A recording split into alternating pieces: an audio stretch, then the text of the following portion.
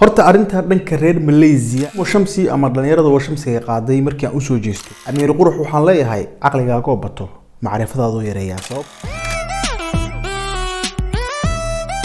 Lamulahi calaykum asxaabteeda isku soo noqosho wanaagsan maalin habeen duhur casar maqrib cisha waqti walba idintaa wanaagsan. Maanta waxaan dul istaagaynaa qadiyadda ama arrinta ka taagan dhankaas iyo malaysia iyo weliba walaasheen samsam oo halkaas dhibaato kala kulantay oo ummadda soomaaliyeedna aada ugu falanqeynaysay haddii aan warshab tahay fadlan waxaan saaranahay waddadii hafmilinka nagu soo biir oo ka mid noqo dadka noo raacay dhankaasi hafmilinka commentiga maanta wixii aniga aan khaldo waa is leedahay alleh wasiirku arrintaas oo ku khaldan yahay baad adigu igu sixi doontaa oo commentigaaga maanta waa noo muhiim like-tan barnaamijka noogu qurxi waayahay waxaan rabaa afar iyo labaatankii saaci la soo dhaafay khaladaad fara badan oo dhacay waxyaalo fara badan oo la saxay iyo xaaladihii ugu dambeeyey ummadda soomaaliyeed ee dareenkeeda ka muujinayeen inaan anigana fikirkeyga ku darsado.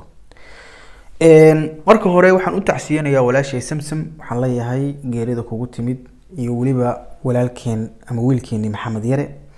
Ilaahay saqiir aakhir allaha kaaga dhigo jannadii firdowsana allaha kuu geeyo. Waa ubax ubax buu ahaa naga baxay. Annaga oo dhan ummadda soomaaliyeed haddaan nahayna tacso tiiraanle tiiraanyanle ayaan hawada kugu marinaynaa. Sidoo kale walaasheen samsam official adreeskeeda ama meesha ay degan tahay ama platformkeeda waa platformkan. Waxaan jeclaan lahaa dhalinyarta igu xiranay sida xishmada aan isku baranay ee meeshan aan ku walaalownay in ay janalkaas ay si qurux badan u soo dhaweeyaan ku biiraan kana warhayaan mar walbo waayahay waxaan rabaa khaladaad afar labaatankii saacee la soo dhaafay dhacay inaan saxo maadaama barnaamijkan aniga shala galab markii aan muuqaalka soo dhigay dadka reer commenty ugu badan ama dadka halkan aan ku walaalownay ay mar walba soo qoriyeen aragtidaas ama arrintaas inaan ka soo hadlo fikirkeyga aan ku darsado waxaan leeyahay. Khaladaad fara badan iyo xaalado fara badan oo maanta dhacay baan kala sharixi doonaa oo kala dhigdhigi doonaaye. Si fiican ay la socda. Wixii is leedahay alleedahay wasiirka arrintaas oo ku khilaafsan tahayna commentiga aduu kuu furan yahay ha iga hebeysane commentiga igu sax waayahay waxaan rabaa kow inaan ka bilaabo khaladaadkii dhacay markii aan fiiriyo. Dhalinyarta screen recordingka duuba dhalinyartaas waa dhalinyaro howl hardworkero ah waa dhalinyaro howl fiican ummadda soomaaliyeed u haya sababtoo ah xaalado fara badan oo ummadda aysan ka warheynin ayay ka dabageeyaan oo u soo duubaan oo u soo dhigaan. Laakiinse markaan waxaan isdhihi karnaa cimaamada ka dhacday. Maxaa yeelay ma garan karo sababta cunug dhalinyaro ah ama cunug yar oo toban jir aan gaarin oo dhintay oo saqiiray oo inaga hoos maray sabab muuqaaladiisii youtube-ka intii looga daba tago aad dib u soo nooleysaan ummadda aad xalow dhan u hormarinayseen ma garan karo. Arrinta taagan iyo wixii soo kordho dadka u soo gudbiya taa waa caadi weligiin baa samayn jirteen. Laakiinse wiilka yarkaa marba hadduu marxuum noqday oo dhulka hoostiisa uu maray sabab muuqaaladiisa loo sii raadiyey oo muuqaaladiisa dib loogu soo kiciyo oo music qiiraha loo soo saaray ma garanayo. Arrin dhalinyarta screen recordingka duubta waxaan dhihi karaa markaan cimaamada idinka dhacday. Wiilku wuxuu leeyahay aabe hooyo adeer abti eedo awoowe ayeeyo walaal ina adeer ina abti. Wixii oo dhan platformyada social media isticmaalaan way kula joogaan. Muuqaalkaas markuu ka soo horbaxo qalbigaa xanuunaya. Ma eedan fiirin waxaasoo dhane muuqaaladii baa dib inta u soo duubateen baa dib u soo dhigteen oo xalo dhan aad wareejinayseen horta dhalinyarada screen recordingka duubta waxaan leeyahay taas cimaamada idinkaga dhacday waa khaladaadkii dhacay afar labaatankii saac ee la soo dhaafay halkaa ii dhig waayahay qodob kale u soo gudbiyay waxay tahay waa amiir qurux amiir qurux waxaan leeyahay caqligaagoo bato macrifadaadu yareeyaa soomaaliba hore ugu mahmahday waxaa la yidhi dhibaatadaas waxaa geystay baa la yidhi mas'uulka reer malaysia. Kumanaan kun oo reer malaysia ah oo malaysia degan baa dhexda kaga jirtay. Hadday dadka caanka ah ee malaysia jooga ay noqotona sodomeeye qof oo caan oo malaysia jooga dhexda kaga jirtay. Waxa adiga hal mar kaasoo dhex saaray ee wakti aysan ku habbooneen ee wakti wrong time ah in aad soo hadashay. Haddii xataa taada aan kuu raaco oo dooda youtube-ka aad la soo fadhiisatay ay sida aad sheegtay eeba kula saxantao taada aan kuu raaco hadda wakti khaldan bay ahayd. Wiilkaaga curadka ah oo hadeer mataqaanaa ifka kuu jooga isagoo dhulka ka hoos maray afar iyo labaatan saacan iska soo wareegin qof bilaadan youtube inuu kuusoo fariisto ma jeclaan lahayd? Waa maya. Marka waxaan dhihi karaa amiiro qurux caqligaagoo bata macrifadaadu yareeyaa horaa soomaali ugu mahmahday waa degdegtay kumanaan kun oo reer malaysia baa dhexda kaga jirtay sodomeeyo qof oo caan reer malaysia baa dhexda kaga jirtay. In adiga aad soo hadasho ma ahayn. Arrintaasna waxaan dhihi lahaa walaashaana raaligeli ummadda soomaaliyeedna ka raaligeli sidii aad muuqaalka hor u soo duubtay muuqaalkaas muuqaal la mid ah oo raaligelina u soo duub ummadda soomaaliyeed.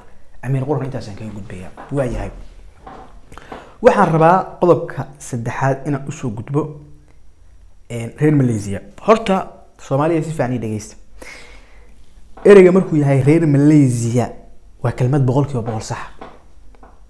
Laakiin reer malaysia haddii la kala qaado boqol kiiba boqol waa khalad.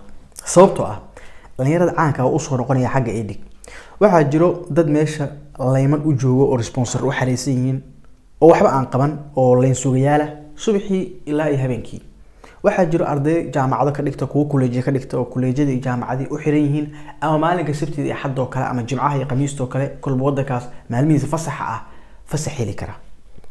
Waxaa jiro jaaliyad iyo dad mas'uuliyiin oo dowladii soomaaliyeed u soo igmatay meeshaas dadka joogo inay koofar waxaasoo dhan baa horta ku jira.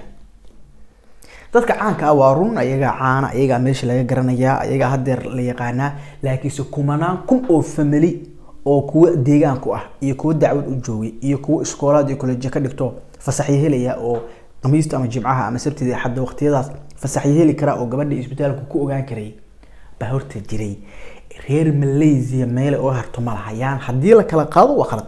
Waa reer malaysia kuwa la yaqaano iyo kuwa aan la aqoonin horta waayahay waxaan rabaa dhalinyarta caanka ah reer malaysia inaan u soo noqdo. Waxaan u mahad celinayaa saxaafi iyo adna oo si gobonnimo leh arrintaas raaligelin uga bixiyey mas'uuliyaddiina u qaatay gobonnimada lagu sheeginay waa taa. Haddii dhacdo ay timaado dhacdadaas mas'uuliyad bay leedahay. Mas'uuliyaddeeda inaad qaadatidna waa muhiim waqti aad isdifaaci karto iyo waqti aan isdifaaci karin baa jira. Arrintaa reer malaysia dadka caanka amaha reer malaysia oo dhan bay arrintan qusaysay marka adna iyo saxaaf waxaan leeyahay caqliga allah idin barakeeyo sida aad mas'uuliyadda u qaateen waa ku mahadsantihiin dhalinyarta kalena waxaan leeyahay nin walaba idin furan inaad afkiina xirataan oo arrinkan aad ka aamustaan oo hadeer aydan dhibaatooyin kale iyo dulduleelo kale iyo aydan sii geysan garaafo kale inaydan geysan waa qodob.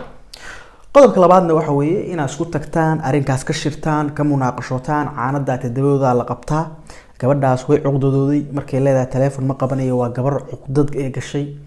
Inaad gabadhaas dhaqdaan qalbigeeda farxad siisaan wixii soo maray ah ka maydhaan si qurux badan u soo dhaweysaan casuuntaan munaasabad u qabataan macnaha waa haddii uu damiirka shaqeynayo marka inaad gabadhaas aada hadda u hooyataanna waa qodob inaad arrinkaa ka aamustaanna waa qodob reer malaysia iyo dhalinyarta caanka reer malaysia intaasaan kaga gudbaya waxaan ku soo gabagabeynayaa tim washamsi. Horta dhalinyarta washamsiga qaada waa wax dunida ka jira. Youtubera caanabaa hal mar washamsi waxaa ku qaada carab iyo afrikaan iyo cajab iyo jines iyo cadaan baa hal mar washamsi lagu qaadaa waa aragti ah. Sababtoo ah dadka aniga daawada akoonkan waa igula walaaloobeen waxbay ku darsadeen subscribe bay ku darsadeen. Haddii wixii aniga aan khalad galo banishmentiga ama waxay u ciqaabi karaan waa inay janalkan kala noqdaan. Subscribe waxay igu darsadeen inay la noqdaan. Horta waxay ugu ciqaabi karaan.